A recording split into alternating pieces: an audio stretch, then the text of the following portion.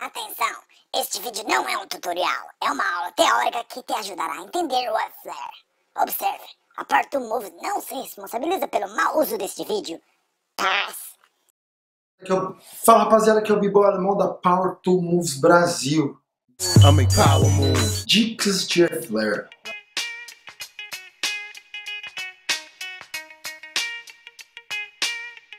Airflare, louco, balão, é o jeito que nós brasileiros chamamos aqui no Brasil. Airflare veio depois do aparecimento do YouTube. Uma vez que o YouTube chegou e os vídeos ficaram mais acessíveis da gringa, todo mundo aqui começou a chamar louco de Airflare. Ah, maloqueiragem! Aqui é tudo nosso. Eu O louco é um cruzamento das pernas, com a torção do quadril, pulando de um braço para o outro. Tem gente que cruza a perna muito, tem gente que usa mais o quadril. E claro, tem gente que gosta de fazer quicando. Existem mil maneiras de fazer flare, cada um escolhe o seu. ah, maloqueiragem! Aqui é tudo nosso. Eu Tudo depende da sua história no Move. Depende dos movimentos que você já sabe fazer. Se você já sabe fazer moninho, giro de cabeça, swaps, esses movimentos vão te dar entendimento para poder adaptar o chute do flare pro louco, a trocada de, da, da mão do flare pro louco. Se você não tiver esses movimentos, pode demorar pra cacete. E quando você aprender, não vai ficar tão legal, porque você não tem essa base. Se você reparar, os loucos dos old school do Brasil era tudo perfeito.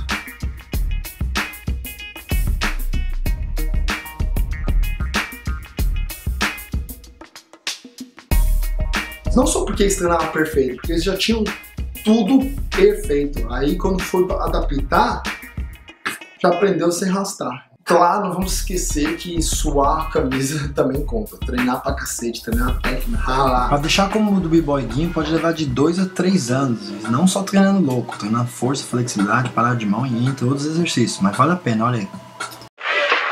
ah, maloqueiragem! Aqui é tudo nosso. Eu machuca, dói, você pode usar o ombro, você pode romper ligamento do ombro, você bate o dedão no pé que cresce cisto, tá bom? Dói. É difícil. maloqueiragem! Aqui é tudo nosso. Eu O que, que é mais importante no louco? Os braços ou as pernas? Os dois. Claro, as pernas são fundamentais, mas os braços têm um papel essencial. Se fosse tão importante, não existiria aquelas pessoas que fazem o louco perna junto assim. Tá? Então o braço é muito importante, tá? E, e- e como que é? O que, o que, que o braço faz no louco? ah, maloqueiragem!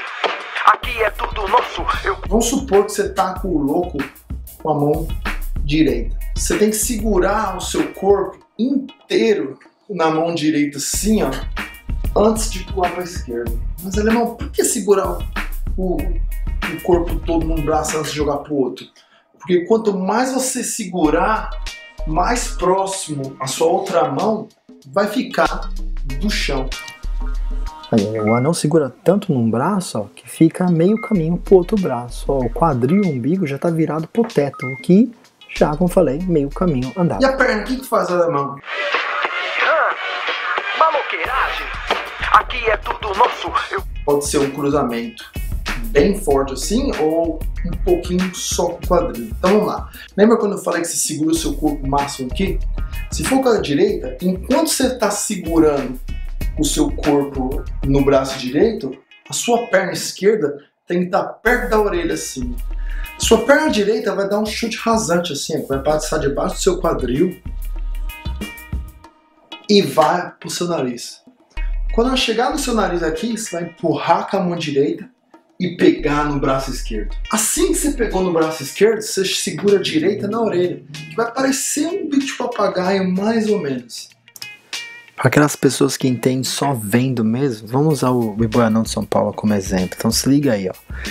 Pode ver que ele vai segurar a perna esquerda na orelha, tá? A altura da orelha. A perna direita vai estar dando um corte enquanto ele segura no ombro, torcendo o quadril. Olha que a perna esquerda tá lá em cima ainda.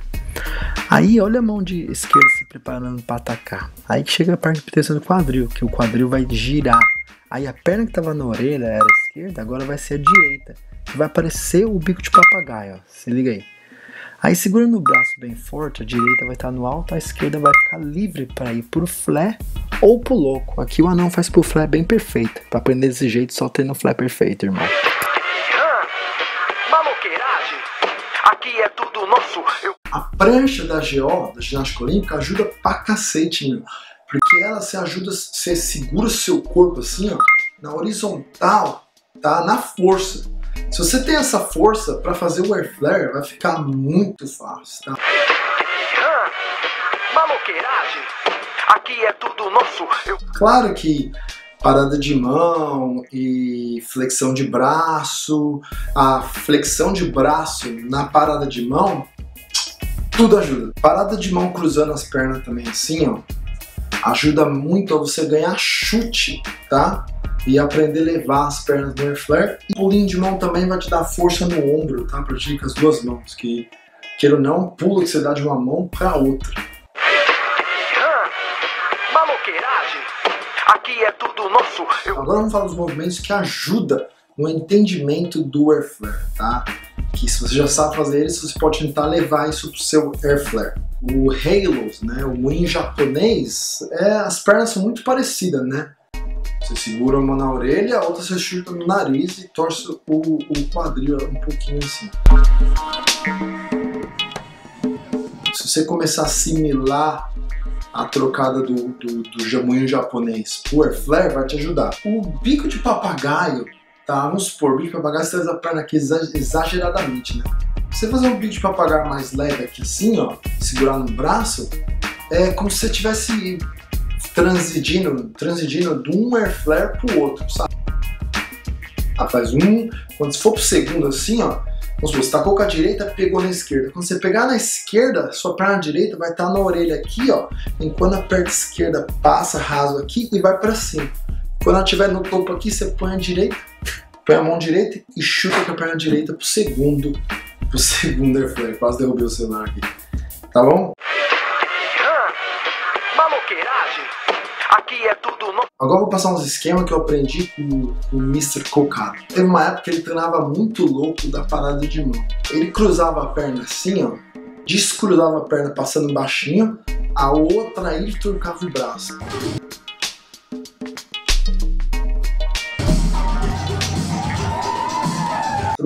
Aprendendo na parada de mão. Porque se você aprende parado, é uma base parada, que não tá vendo sem apoio nenhum.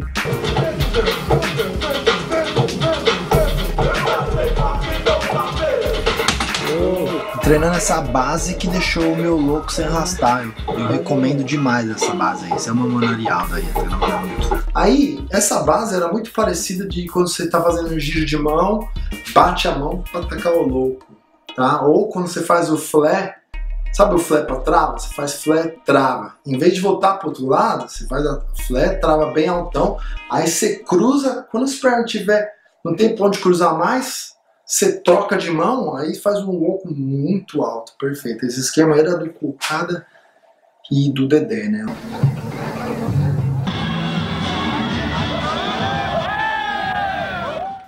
Salve, salve, aqui é o Power Move Anão. Opinião, uma coisa que é fundamental no louco, no Air Flare, é o começo dele. Por que, que, na minha opinião, o começo do louco é fundamental? Porque eu já vi muitas pessoas treinar o louco, ter a base certa das pernas, ter a base certa dos braços, mas pelo fato de não acertar o começo do louco, é, não consegui fazer ele, não consegui aprender esse movimento. Por quê? Porque se avaliar direitinho, é, o mesmo jeito que você começa o louco, é o mesmo jeito que você vai dar continuidade no segundo, no terceiro e no quarto. Então, não adianta você apresen- aprender um movimento direto pelo final dele, entendeu? Tem que aprender o começo, o meio e o fim. Rapaziada, esse foi o Dicas de Air Flare, Dicas de Louco pelo B-Boy Alemão aqui. Demorou, mas saiu, tá? Fica ligadinho aí que o parte 2 virá. Se inscreva aí, que assim que o vídeo sair vai sair nas suas notificações aí, tá bom? Se você não curtiu minha página, curta a página do B-Boy Alemão no Facebook. E lembre-se que aqui é Power Move na veia.